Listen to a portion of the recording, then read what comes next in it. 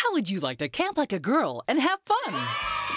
Imagine horseback riding, rock climbing, mountain biking, marine biology, windsurfing, sea and lake kayaking, paddle a Viking boat, and hike miles of beautiful trails. Girls make new friends at positive all girl camps with opportunities to make lasting friendships and build courage, confidence, and character.